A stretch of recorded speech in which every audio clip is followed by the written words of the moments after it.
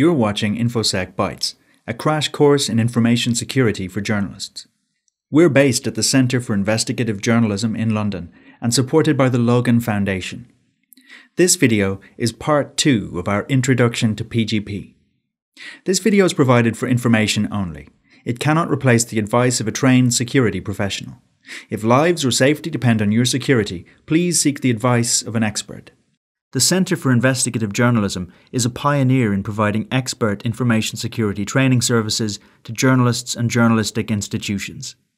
To consult with an expert through the CIJ or to arrange a CIJ training session, contact the address on screen. The tutorial you're about to watch is part of a series on PGP. If you haven't seen the others, click or tap on the pop up message to access the playlist. In the last video, we explained symmetric encryption and public key encryption.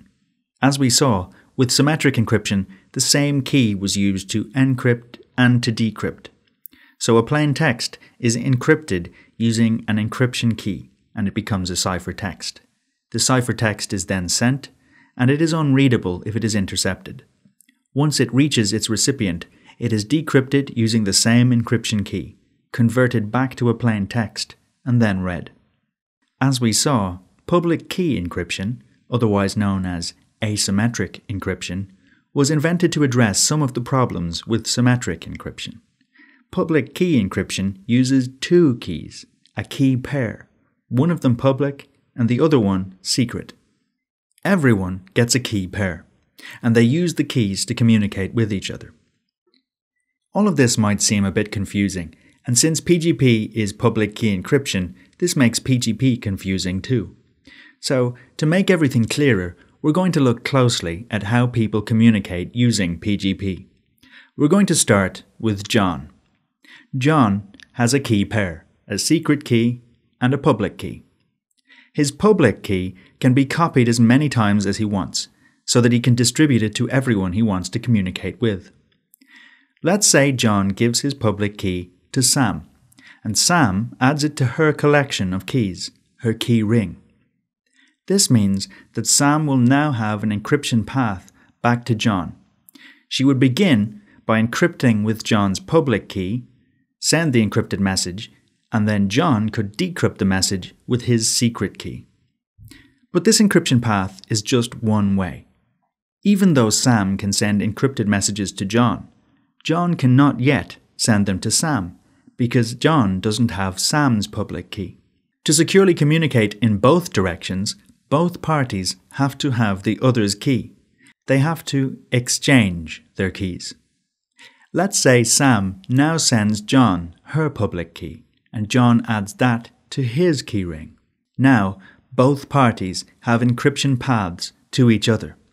John can send encrypted messages to Sam through Sam's public key, and Sam can send encrypted messages to John through his public key. Let's look at everything in sequence. John types up a secret message. He then uses Sam's public key to encrypt the message, and it emerges as a ciphertext ready to send. He now sends the message. Anyone who intercepts this message while it is in transit will be unable to read it. All they will see is undecipherable code. Sam now receives the message. She uses her secret key to decrypt the message, and is then able to read the message in plain text. She wants to reply, so she writes another message for John. She then uses John's public key to encrypt that message, and it becomes a ciphertext. She sends the message to John, and once John receives it, he decrypts it using his secret key and is then able to read it. And this process can be repeated for an entire conversation. Public key encryption isn't just between two parties. John can send his public key to as many contacts as he wants, enabling them to send him encrypted messages. But specifically sending your public key to each contact is also very repetitive and can take a lot of time. So John may wish instead to publish his public key to make it available in public so that anyone who wants to communicate with him can just take a copy of his public key. On the internet, This is done with what is called a key server, a special online directory of all the public keys. Instead of sending to each contact, John can send his public key to the key server. Likewise, each of these contacts can send their public keys to the key server. Now, when John wants to communicate with those contacts, he just downloads their public keys from the key server. And likewise, each of those contacts can download everyone else's public key, including John's, from the key server.